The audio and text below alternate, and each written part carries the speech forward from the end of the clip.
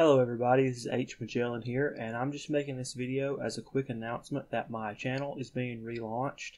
I'm no longer going to be primarily a gaming channel. I'm going to instead be focusing mostly on Linux related information, news, and tutorials, uh, in particular Gentoo Linux. Uh, that's actually what I'm running right here.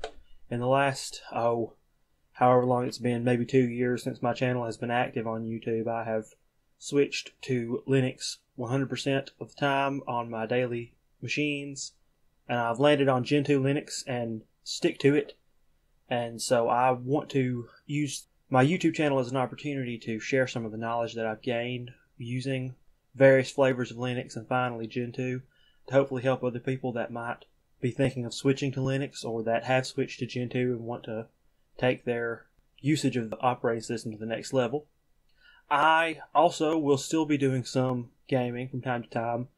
I will be focusing pretty much 100% on free software video games. I have a Super Tux Kart series that I did in the past, and so that's a good example of the sorts of games that I will be covering going forward. It'll all be free software video games. Um, when I actually start playing more games, I'll talk a little bit more about that.